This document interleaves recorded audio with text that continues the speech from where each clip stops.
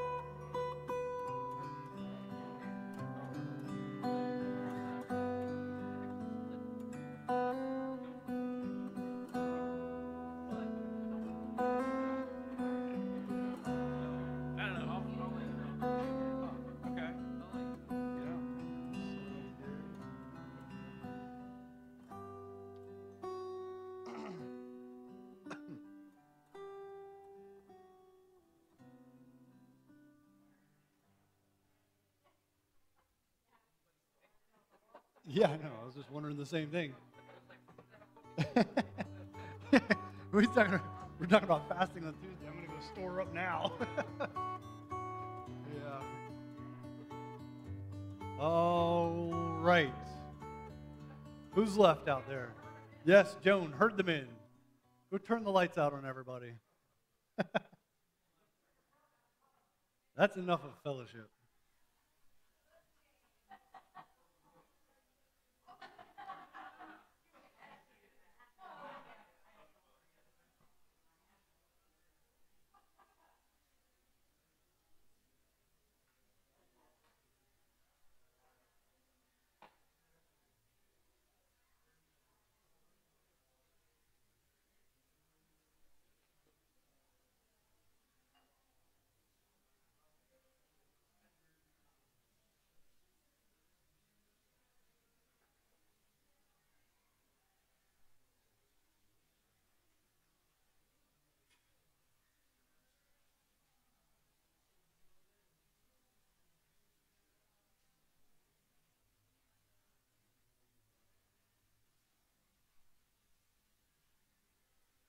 All right.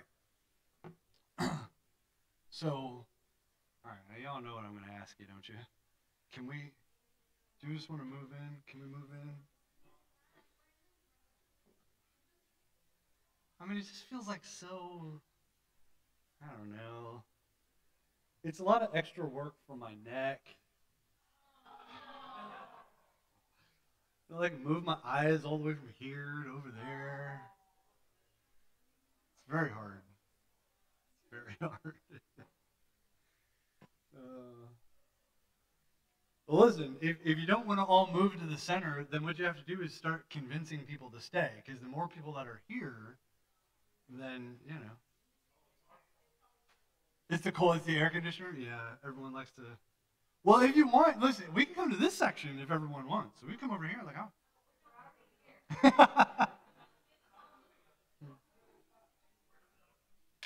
I tried. See, see, this is this is just further evidence that you can't please everybody, and chances are you can't please anybody. Hey, why don't you guys? I saved the entire front row for you guys.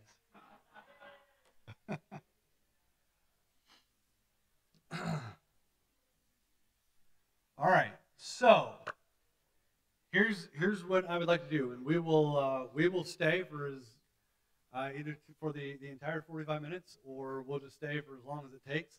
Um, but I'd like to start with questions, maybe around fasting, um, and then if when, when we're done with the questions, uh, I'd like to move into a time of just considering some specific things to be praying about um, as we as we move into 2024 and uh, and are continuing the 21 days of prayer. Um, hope you're finding that helpful. I've heard from a few people this week uh, who have been encouraged and aided by the daily reminder um, to pray. So much so, it's like it's one of those things. Like, man, you, you almost wish you could do it all the time.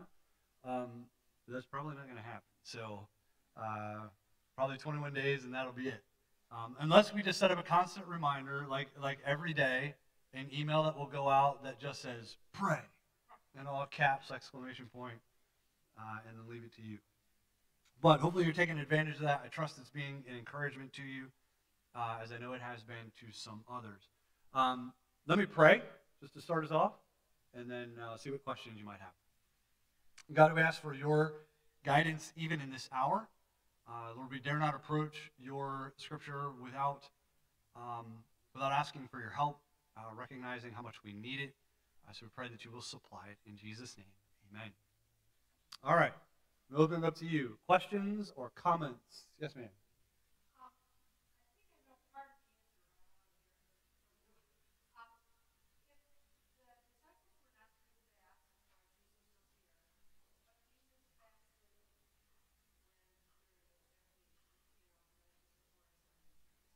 Yeah. Yeah, so so he does. Jesus fasted prior to the beginning of his earthly ministry, and then it appears once he begins that public ministry, that ends. And, and I don't know, like it's never explained fully as to why that might be. So we kind of have to uh, conjecture a little bit here. But I'm I'm assuming that at least in part was because the public demonstration of his ministry was the, the declaration that the king had come, the bridegroom had come, to personally prepare himself for that, um, he was seeking the Lord, uh, withstanding temptation. And so he made, um, for his own benefit, he made fasting part of his, uh, what we could probably assume part of his routine up until that point.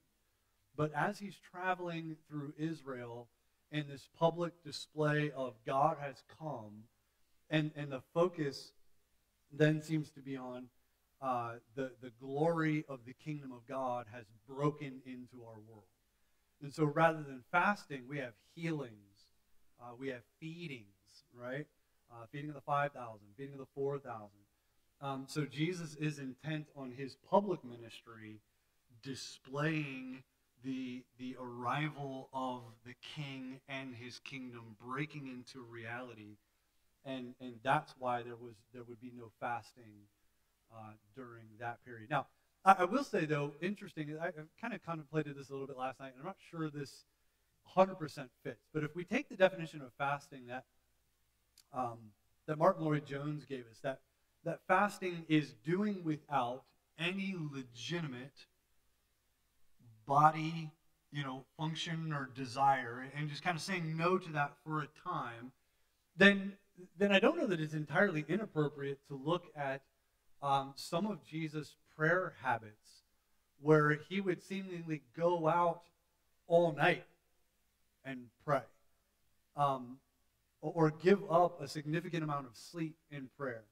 Uh, and so part of me wonders if, if that is not in some way a fast, to go, I'm going to do without this bodily need of sleep in order to pursue the Lord for strength or direction. Um, but again, that was something he was doing uh, seemingly privately, uh, going off by himself to seek the Lord for his own personal well being. But certainly the public display of his ministry was the joyful arrival of the king and his kingdom. And, uh, and this is why he says, by the way, um, the, the, the Son of Man has come to you. You know, John the Baptist came to you neither eating nor drinking, and, and you thought he was a weirdo, right? But but the Son of Man comes eating and drinking, right? Like I am celebrating, and you call me a, a, a glutton and a drunkard, right? Um, so so he his ministry had a very different feel even than John the Baptist. Uh, he was meeting in people's houses and they were eating. There was a celebratory feel um, to his ministry, which is probably why it was so attractive. On top of the the, the healings and the miracles, the, the curiosity that surrounded him, um, there was this growing sense of, man, this is like this is the guy, right? And and we are celebrating his arrival, and that all culminates ultimately at the triumphal entry, where they're breaking off branches and and, and they're shouting Hosanna, right? Glory to God in the highest. Why? The King has come. Um, they remembered the Old Testament prophecy. The king has arrived and he enters into Jerusalem on a colt, um, on, a, on a donkey. And so Jesus fulfills that prophecy there in full on celebratory mode. To, to the point that the, the, the Pharisees, who were just ravaged with jealousy at this point, are like, Jesus, tell them to stop. You know, this, this, this is not this is not good. It's not right. And Jesus is like, hey, look, if they stop crying, the rocks themselves will cry out. Why? Because the King has and all of creation recognizes that the arrival of the King means joy, right, and an exuberant expression of that joy. Does that, does that answer your question? Partially, mostly. Good question. One I thought about a little bit last night, particularly in conjunction with the, the sleep thing. What else? What are the questions that we have? Either about Mark 2 itself or fasting, what it is, what it means, why we do it, how we do it.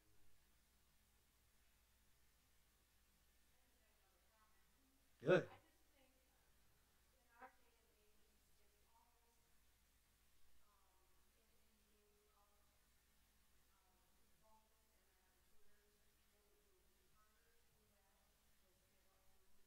Yeah.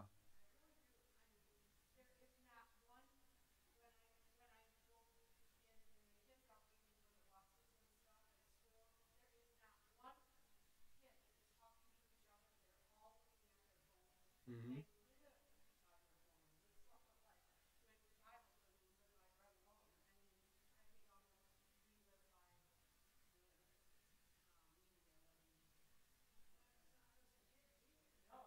Oh. Yeah.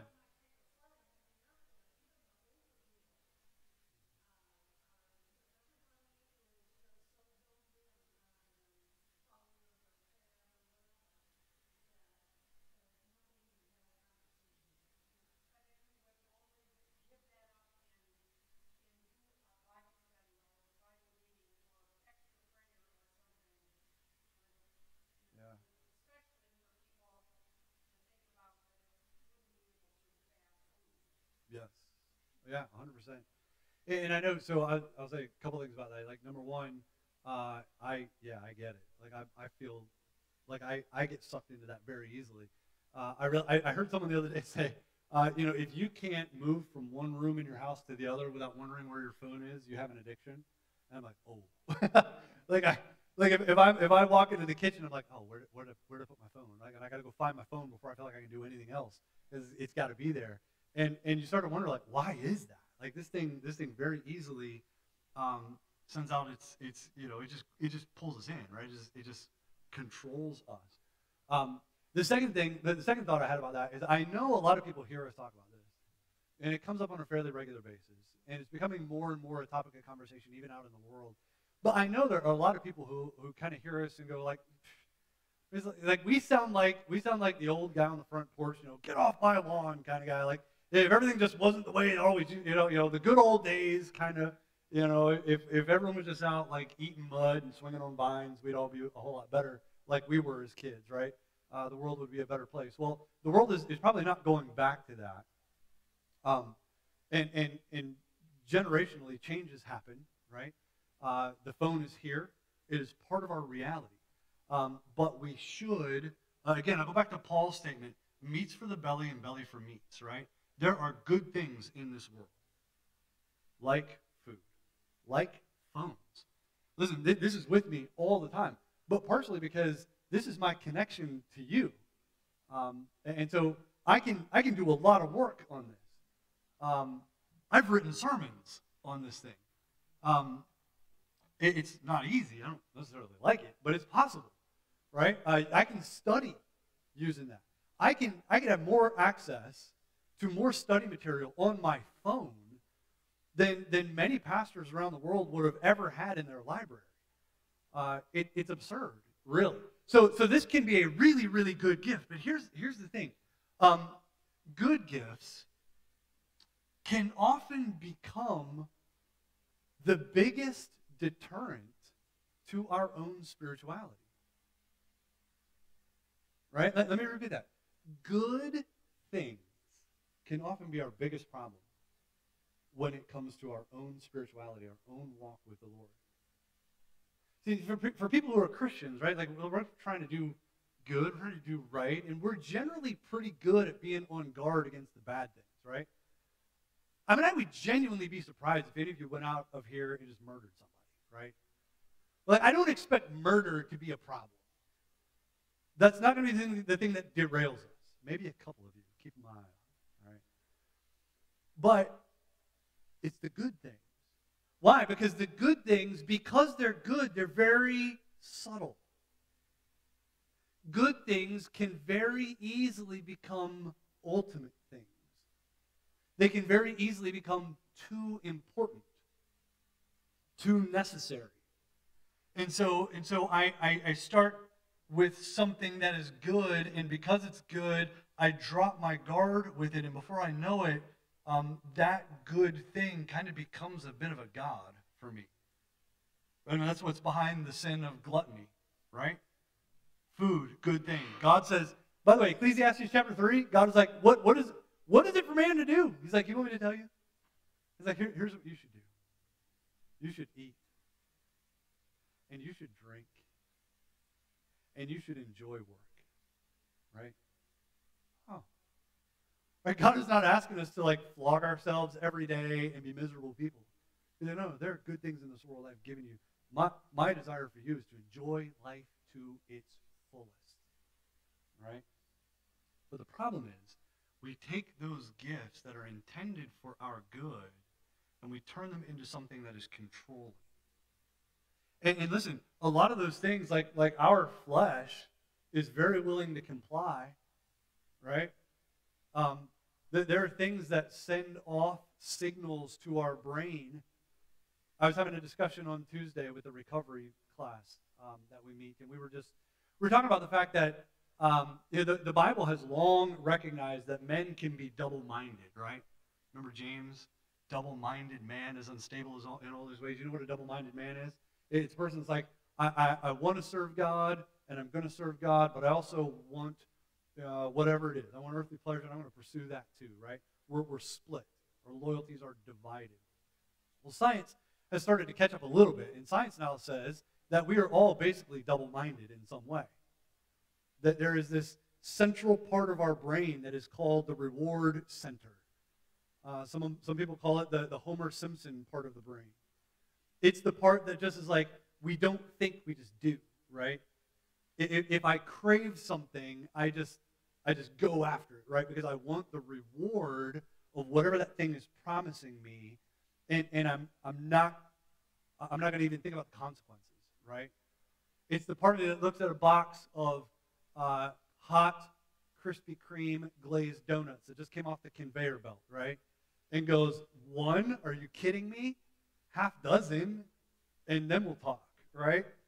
Um, it's part of the, I don't want I don't want to consider how it's going to make me feel later. I just want the reward now, right? And, and then there's the second part of our brain that, that tends to light up around uh, ideas of control and moderation and, and thinking through planning. And, and, and that's the frontal lobe. And so, uh, again, science has shown people that have injuries to this front part of your brain you tend to lose all ability to control your behavior. It becomes much more difficult. So, so science is starting to tell us, hey, there, there are these parts of our brain that all kind of work together, but there are things that tend to hijack the brain. It, things like, like, I mean, the most extreme example here is, uh, is, is opiate drugs, right? When, when you do them, they create a reward in your brain. There's a dump of dopamine. There's it's doing all kinds of things to the physical parts of your brain that your brain goes, oh, I kind of like that, right? And then because it likes it, it tells you, I, hey, you remember that thing that felt so good? We, we want that again. And then the more, the more you give it, the more it moves from, hey, it's not only do I want this, but I need it. And if you don't give it to me, I'm going to make you miserable, right? and, and, and people who start to give themselves to that, all of a sudden, your sense of normalcy becomes completely skewed. Feeling normal is being high.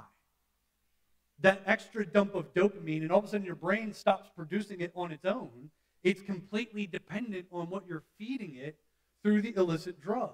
And so then when you don't give it the drug, you're stuck. And, and your brain is going, ah, right? Where is it? This is what we call withdrawal, right? Now you're going to feel miserable. I'm going to make you sick. because you're not giving me what I want. Right? And we don't feel normal. We feel bad when we don't have it. Right?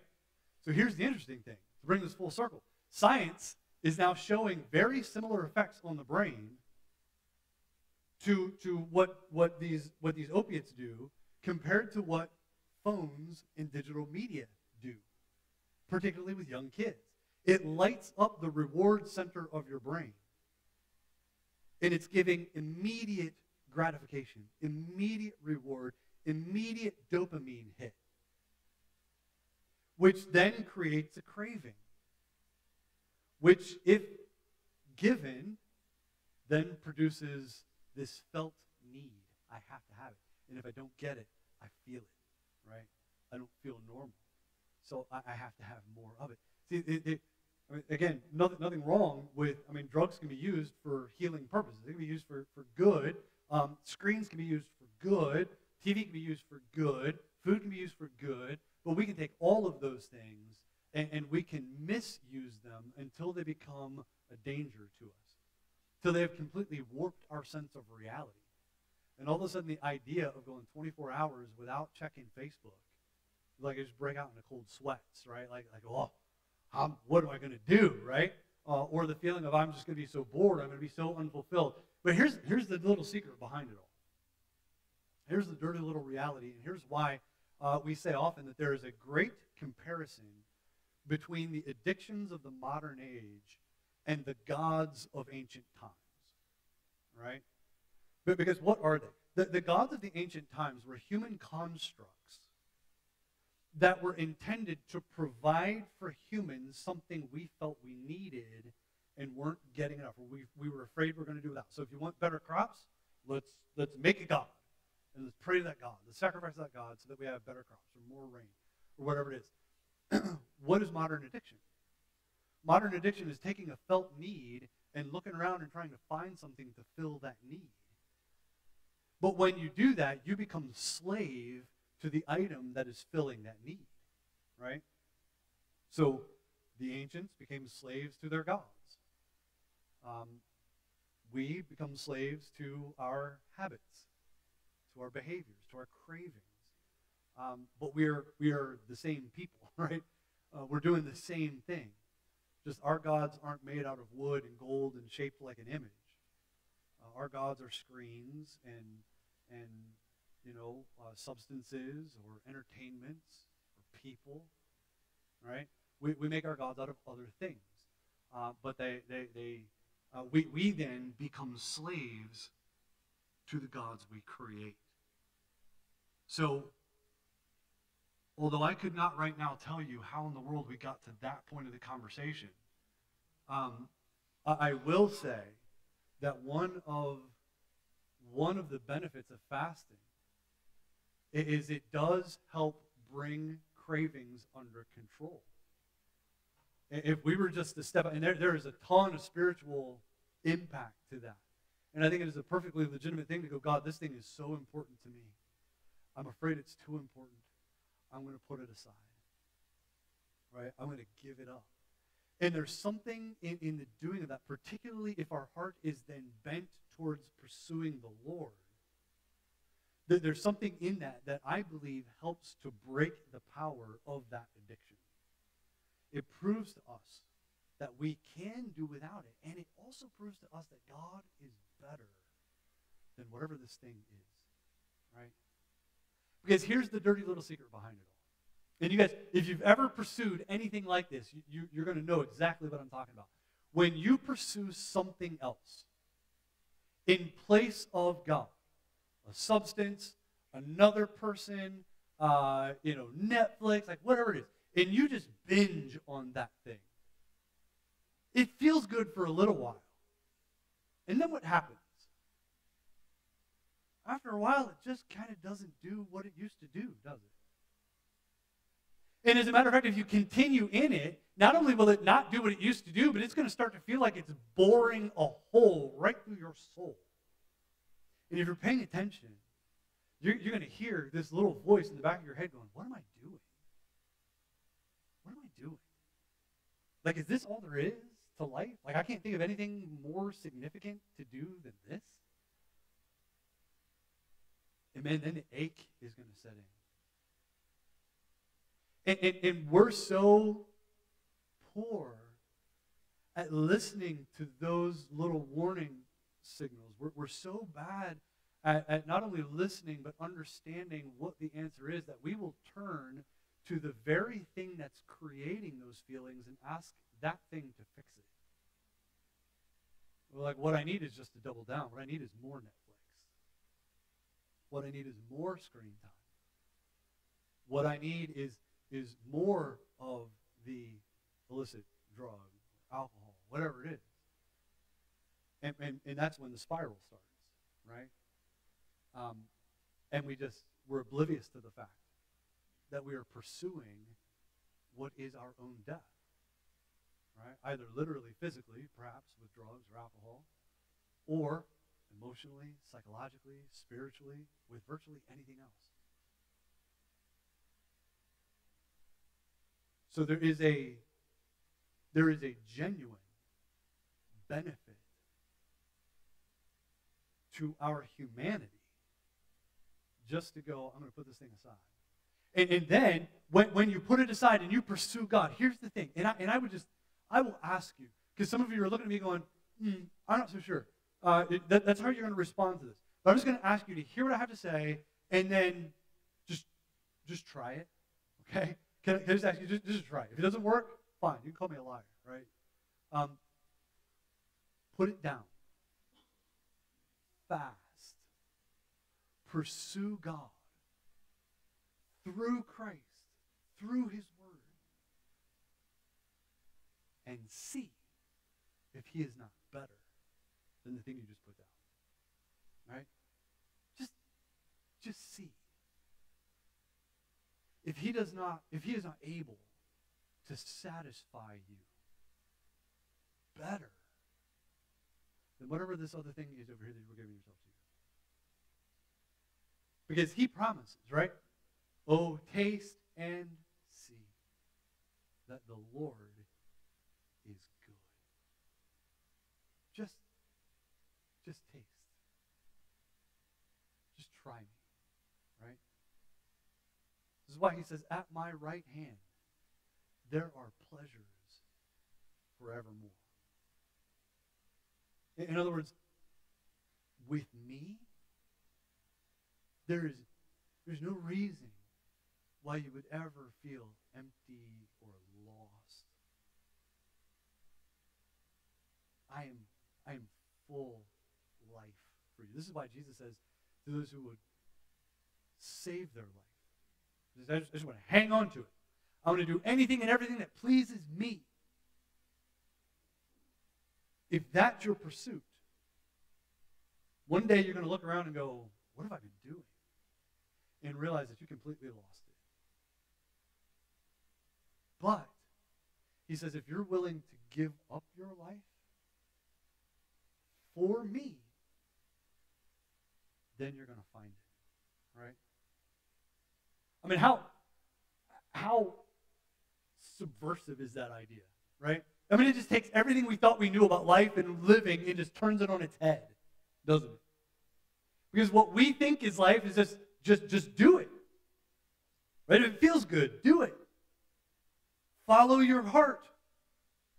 Disney World, right? Right? And there find the meaning of life. Wrong. Right? Jesus says if you follow your heart like that, you're going to look around one day and go, what is this all about? What, what is there?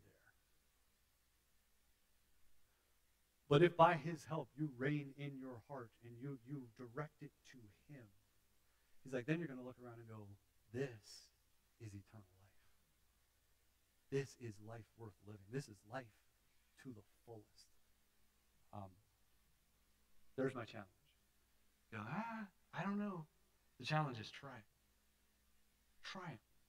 This is one of those ways where I think you can put the Lord to the test, and he will gladly answer. Right? I mean, he invites this. Try me, test me.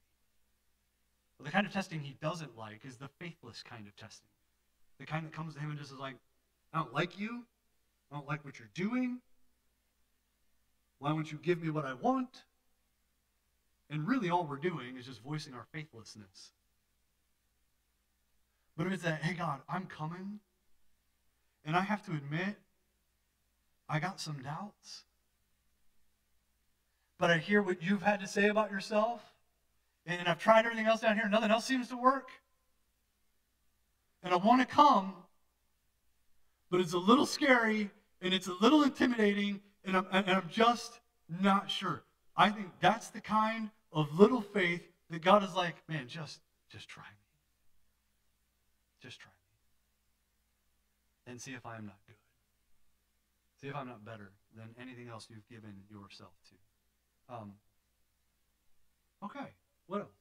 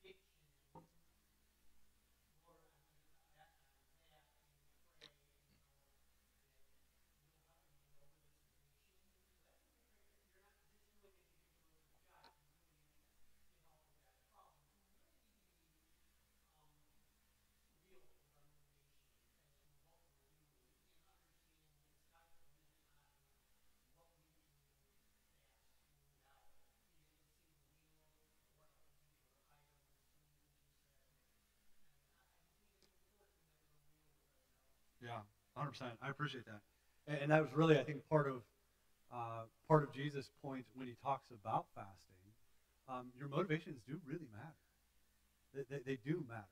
And, and we can we can set aside and kind of willpower our way to basically any kind of fast we want for any purpose we want. Um, but what makes a fast uniquely Christian is the motivation behind it. What what am I seeking to gain? And listen, I think there's there are physical, real life benefits to limiting virtually every good thing in our life. All right? Uh, you, you, can turn on a number of podcasts today and hear people preach about the benefits of fasting for your mental health, for your physical health. Uh, we, we can do all of that and still miss the benefit that Christ is holding out to us. And that does have to do with why are you pursuing?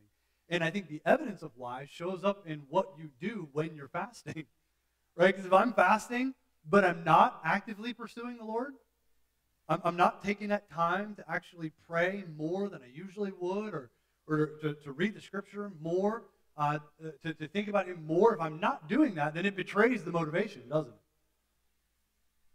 I, have I've betrayed uh, myself I might have said I wanted to pursue the Lord, but in reality, this is more about self discipline or becoming a better person or growing as a man, like whatever it is.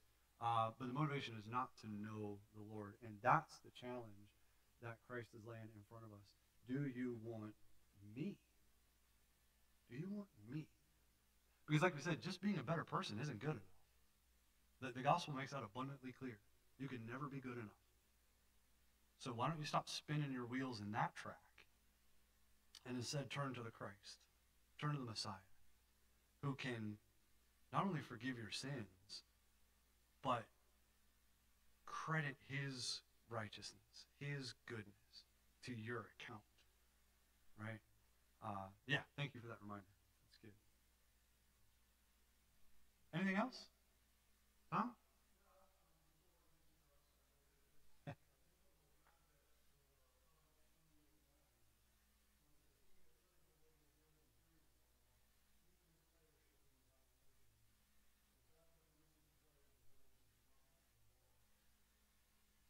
Okay. Um,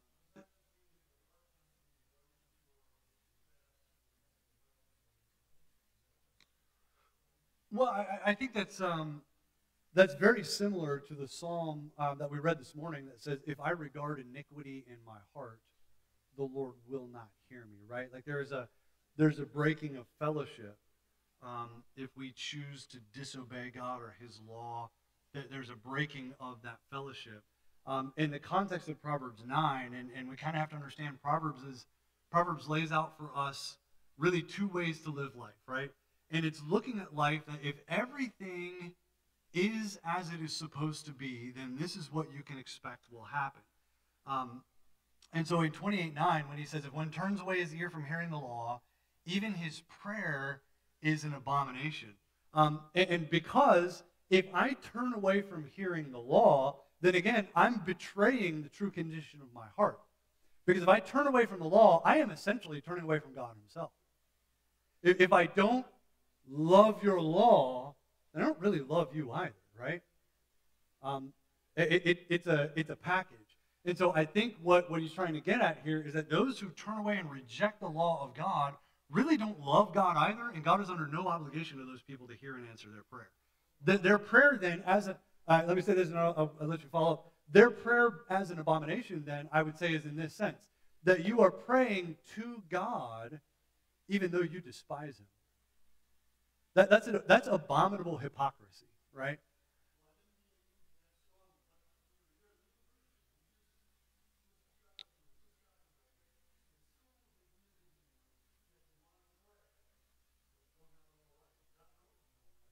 Oh yeah.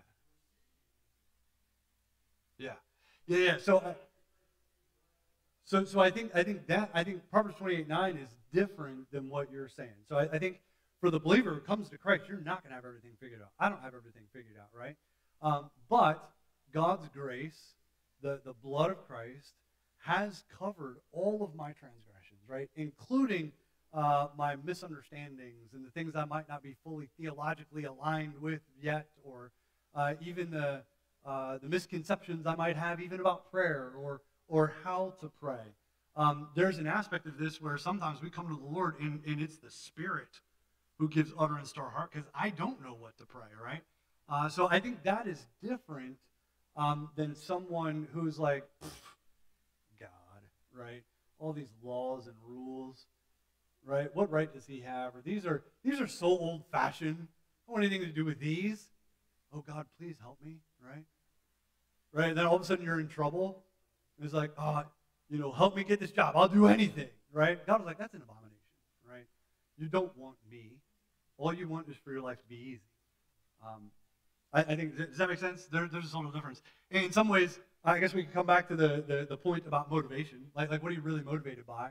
I think this prayer of the abominable, uh, what he is saying is that those people are not motivated by wanting God or from hearing from God. They're motivated in what can I get? I don't want any of the rest of the stuff that you got to offer. Right? You hear people all the time say, well, Christianity is about a relationship, not a religion.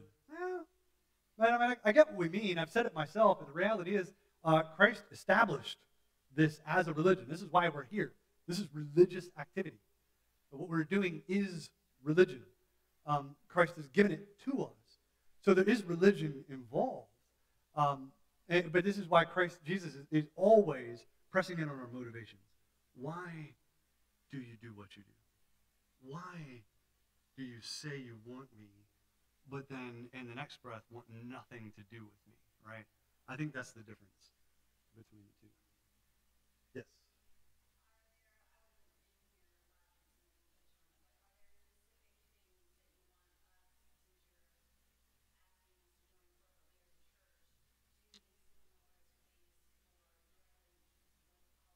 Yes. So uh, yeah, intended to get here a long time ago and um, got off. So let, us do this. Let, us talk about some things that we can pray for specifically. Um, and I have three categories of things here. One is one is property, one is ministry, and one is just practical. Okay. Um, so under the, the property, and I can maybe print this up and send it out at some point if that would be helpful. Um, there are a number of things um, that we either need to do or would like to do as far as the property is concerned. Um, one, a number of you know, because we've started having some conversations about this recently, the, the back portion of our property, way, way in the back, the part that you can't really see because it's all grown over, um, we, we learned uh, about a week and a half ago, two weeks ago, there are a lot of homeless people that have been living back there. Um, and, and so we went back because some of the neighbors had started to complain. Um, the, the cops have been called out a number of times. Uh, we went back to just kind of survey what's going on. Um, there is so much trash back there. it, it is. I've tried to explain it to some people, and, and a few of the guys after our prayer meeting yesterday went out to, to walk around, and even after trying to explain it and showing them some pictures, seeing it in person was like, oh my goodness, uh, this is beyond what we could have thought. So um, we need, as a church, to figure out what to do with that back portion of the property. Um, we are we are now going to have to clean it up. Um, we're going to have to consider some way to secure it better than it is currently secured. Um, and, and then there, there's been some mention and some talk about the possibility of can we just break off that portion of the property, sell it so we don't have to worry about continuing to maintain it. So one of the things we need to pray for is that back acreage. What do we do? Uh, it's about 1.65 acres. Um, what do we do with that? The second thing on the property, this front building um, is just, it's sitting. And as buildings sit and age, they tend to deteriorate. Uh, it was in rough shape when I came 10 years ago. It's not getting better as the law of therm- thermodynamics dictate, right? Uh, it's just going to continue to uh, deteriorate. We, we really need the Lord to bring us an answer about what to do with that building. Um, and, and over the over the decade that I've been here, there have been so many possibilities that have been brought our way, and just the Lord has not allowed any of them to come to fruition. Uh, I would really love for the Lord to bring an answer to that um, in 2024, whatever that might be. The third thing is our parking lot.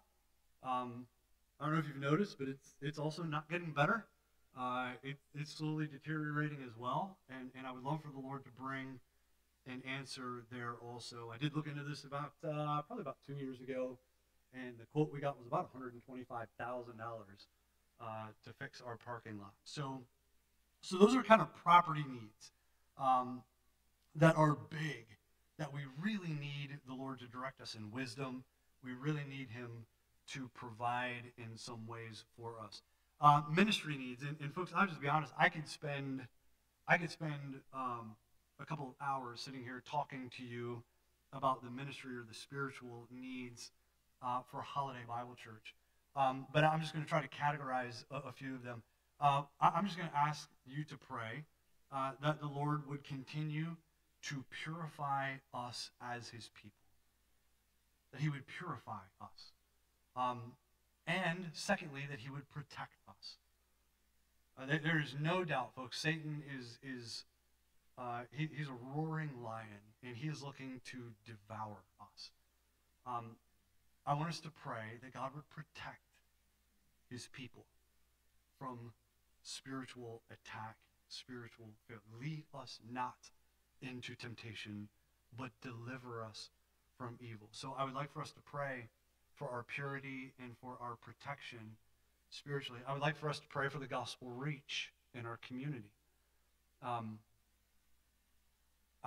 our desire is that the gospel would impact the community around us. And, and to some degrees, over the last 10 years, that has happened. But there is so much need. There's so much brokenness. There's so much disillusionment with what people think Christianity is. And people have been burned by things in the past. So um, I would like for you to pray for the gospel reach. And, and very closely attached to that, there are these ministry opportunities and partnerships, some that we already have and some that are kind of on the table as possibilities for us. Um, I, I just, I'll run through a few of them without going into to, to a ton of detail.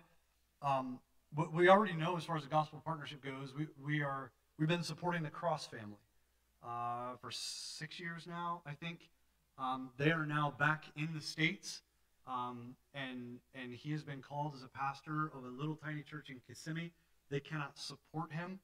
Um, so they're, they're, asking their supporting churches to continue to give uh, while the church is reestablished until it can actually pay uh, and help him support his family. So Um, that one, one prayer request is just not only for them and their ministry, but also our relationship with them uh, as we move into 2024 and what that looks like. Um, ah, man, where else do we go from here? We, we've we, we still have a uh, recovery meeting meets twice a week or twice a month with um, Gulf Coast Family Resource Center. Uh, they, they bring 20 to 25 individuals almost every uh, every other Tuesday, um, and they just sit and, and are very responsive. And uh, if you if you're paying attention, about every other Sunday, a group of them show up here uh, in our service. And, and if you haven't noticed that yet, um, watch, okay? Because probably next Sunday there'll probably be a van that pulls up and drops off anywhere between two and I think last week there were five or six. Uh, about right here where the pots are. Um, if you see them, man, introduce yourself. They're, they're, for the most part, they're they're kind. They're genuinely interested in what Christ has to offer. Um, and as often as they're able to get off campus and come, they are coming. So continue to pray for that ministry. Um, and, and, we've looked at a number of other possibilities as far as um, recovery meetings that would be open to the community. Um, we've been approached by other organizations like Pasco Horizon, uh, which uh, which is going to be a, a, conversation coming up here in the near future. An organization called Better Together, another organization called Freedom at Last. Um, there, there's no lack of opportunities for us to invest our time and resources and things that would be both gospel centered and helpful for our community. Um, but we're limited. We are small. Uh, we need God's direction about what to do. Some some of our folks are already involved in some of these things. The the, the West Coast Pregnancy Center. Um, we, have got involvement there with the jail, with Door of Hope. Like we, we've got people involved. Uh, the, the food ministry on Tuesday nights over here for Metropolitan. We've got people involved in a number of different things already. Um, so pray for those opportunities and those partnerships. Uh, what does God want us to do? Um, and, and what should we be involved in? And that the things that we are already involved in would bear fruit for his glory. Um, and then I would say to pray for the leadership of Holiday Bible Church, that the leadership itself, um, both elders and deacons, two things. Number one would be strengthened, and number two would be multiplied. Um, leadership in the church, sometimes we, we sometimes there's this divide between leadership and, and like congregation, and almost like this this little um, distrustful standoff, right? Like the, the people are not really sure what whether they can trust the the folks that are leading, the folks that are up front. We're always kind of suspicious, and then the people who are leading are kind of looking at the people going, mm, we don't know if we can trust them either. Um, and, and so there's this weird relationship. Um, but but the reality is, according to the scripture, the, the biblical model of a church is that leadership is a gift to the people of God. Um, and, and, so the more the more people we have qualified to serve in leadership roles, the better for the church.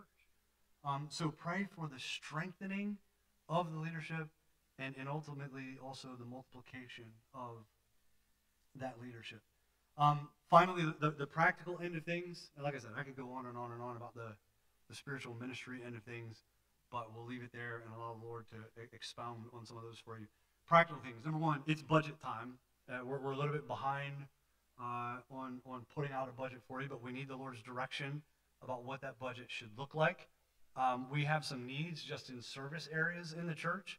Um, our, our, property maintenance and upkeep, the audiovisual ministry.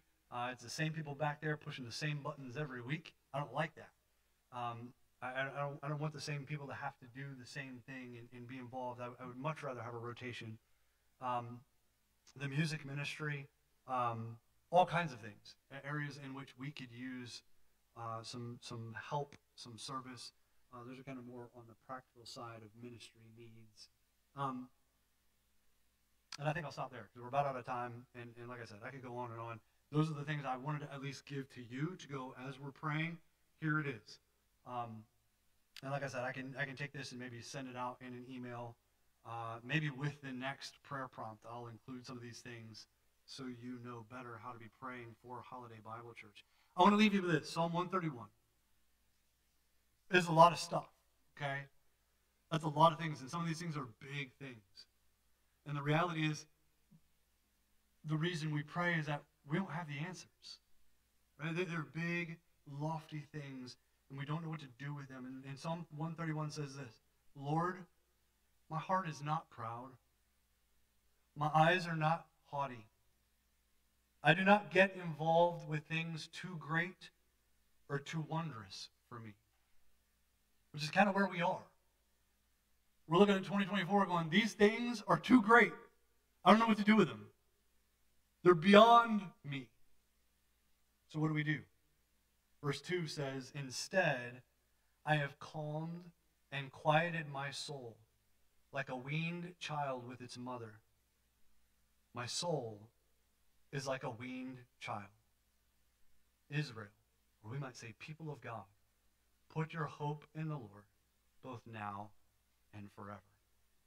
In other words, here, here's a passage, a prayer that is wrestling with the reality of uh, already, not yet. Like, like we, we see God's promises, we desire the fulfillment of those promises, but yet we're living in this like, I can't see what's coming. And we have big questions that need to be answered. We have needs that need to be filled. The need for spiritual purity and protection, guys, we can't we can't just manipulate that. We, we cannot just make it happen. Um, we, we, they're, they're too wondrous for us. And so the psalmist is like, instead of spending all my energy worrying about how any of that's going to happen or being overwhelmed by the pressure of it, I just, I just want to take it to you. I want to quiet my soul before you. Like a weaned child with his mother. In other words, like, like, a, like, a, like a small child whose belly is full, standing with the security and the protection of his mother, not a care in the world, right? Knowing his every need is going to be met. The psalmist is like, that's what I want my soul to be. And in order to do that, we have to put our hope in the Lord, right? Stop getting sucked in by the things that are too great for us. And instead, pray. This is why, again, the Bible always says, it all says the same thing. So it goes back to Philippians last week. What's the answer to anxiety? It's to pray. How do we intensify our praying? Through regular fasting, right? God, we need you. Here are some things we need, but we're also willing to admit we don't even know what we need. we don't even know what all that looks like.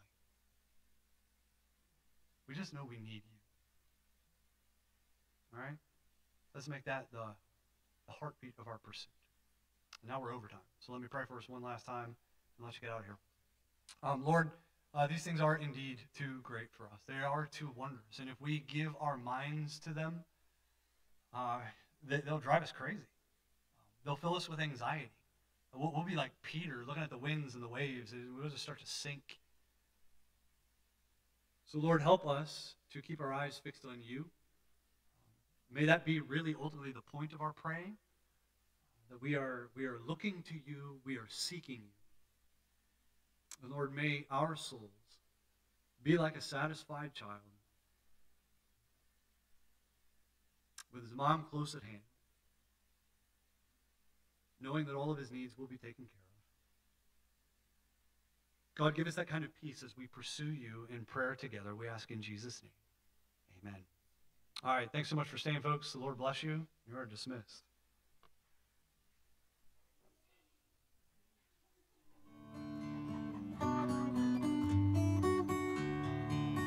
Oh.